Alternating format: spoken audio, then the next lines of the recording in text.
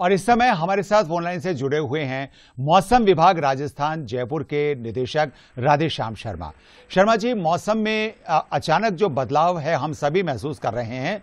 इस समय बिपरजॉय की राजस्थान प्रदेश में क्या स्थिति है क्या अभी हालात बने हुए हैं? देखिए इस सिस्टम के असर से पिछले 24 घंटों में सिरोही जालोर पाली और बाड़मेर ये तीन ऐसे डिस्ट्रिक्ट हैं जहाँ पे अत्यंत भारी बारिश एक्सट्रीमली हेवी रेनफॉल की कैटेगरी में रेन रिपोर्ट हुई है। कुछ इलाकों में 300 एम से भी ज़्यादा बारिश अब तक पिछले चौबीस घंटों में हुई है।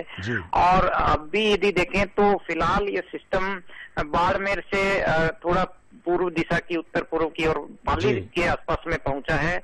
और इसका जो असर है अभी भी अगले चौबीस घंटों तक विशेष रूप से यदि कहें तो पाली राजसमंद सिरोही और उदयपुर ये चार ज़िले ऐसे हैं। इनमें अभी भी अत्यंत भारी बारिश का दौर अगले चौबीस छत्तीस घंटों तक जारी रहेगा।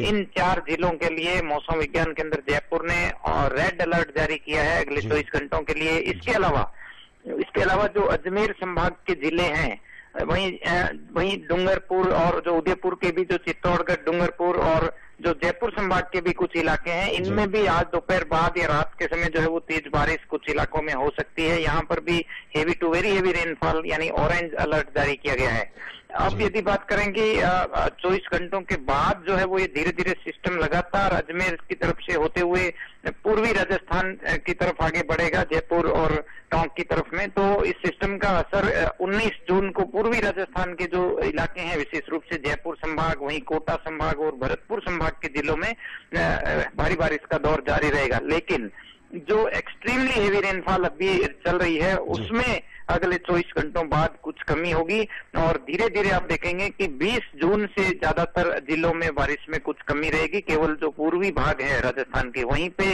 बारिश का दौर जारी रहेगा और कुल मिलाकर 20 जून से इसका असर खत्म होगा। जी शर्मा जी कच्छ और गुजरात की स्थिति जो हमने देखी जिसमें तूफानी स्थिति का सामना किया लेकिन अभी जैसा कि हमने समाचार में भी देखा कि इसको धीरे धीरे ये डीप डिप्रेशन में कन्वर्ट हो रहा है।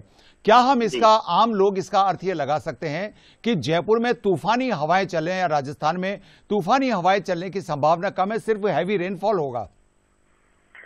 जी देखिए ये सिस्टम 15 जून को एंटर लैंडफॉल करने के बाद 16 जून को मध्य रात्रि में जब ये राजस्थान में प्रवेश किया था उस टाइम ये साइक्लोन से कमज़ोर होकर डीप डिप्रेशन बना था हाँ। और डीप डिप्रेशन में भी 50 से 60 बल्कि 70 किलोमीटर पर आवर तक की हवाएँ वहाँ पे दर्ज हुई थी जहाँ से प्रवेश किया सिस्टम राजस्थान में।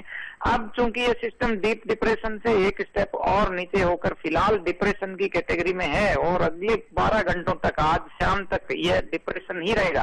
तो हवाएँ ज़रूर जो है वो पहले से कम हो रही है। धीरे धीरे हवाओं का असर बहुत ज़्यादा नहीं होगा लेकिन फिर भी आप देखेंगे कि जहाँ पे इसका सेंटर है या उसके आसपास के जो 150 किलोमीटर के दायरे में ज़रूर हवाएँ जो है वो आज शाम तक चालीस पचास किलोमीटर प्रति घंटा तक की आज शाम तक रहेगी। लेकिन जैसे जैसे समय बीतता रहेगा उसके बाद में भारी बारिश का जो दौर है उसमें भी कुछ कमी आएगी और तेज हवाओं का भी जो असर है वो धीरे धीरे कम होता हुआ नज़र आएगा। बहुत बहुत धन्यवाद हमसे जुड़ने के लिए और इतनी महत्वपूर्ण जानकारी हमारे साथ शेयर करने के लिए।